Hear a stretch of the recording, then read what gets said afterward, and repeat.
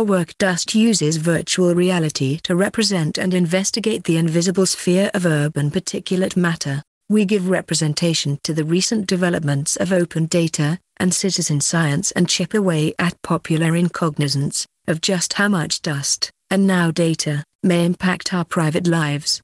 It is estimated that one human life is lost every 8 seconds due to exposure to dust. The adverse effects of exposure to ever-increasing amounts of data are still not known. Dust is data, data is dust. Particulate matter, also known as airborne dust, is universally familiar.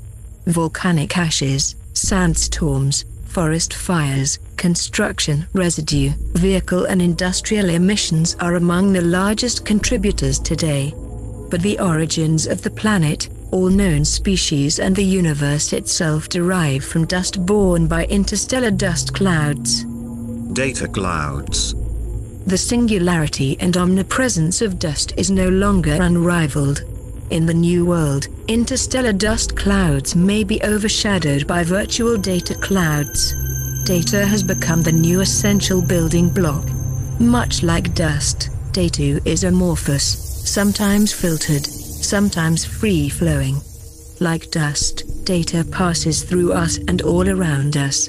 Sensors and sovereignty. People have long understood dust may be harmful and have sought to avoid undue exposure.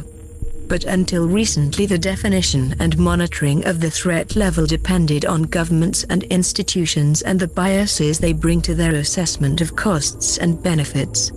Curiously, data now empowers people to do their own cost-benefit analysis. Individuals can carry out environmental tests privately with low-cost sensors and distribute the results on the internet, bringing about a culture of citizen science.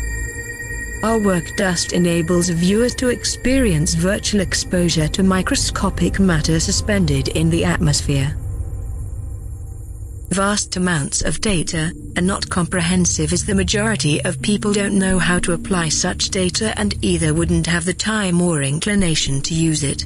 Therefore we aim to establish an open platform for monitoring, experiencing and communicating environmental data, as meaningful information.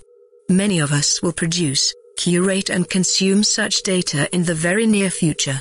Promoting democratic benefits such as education, transparency and civic engagement.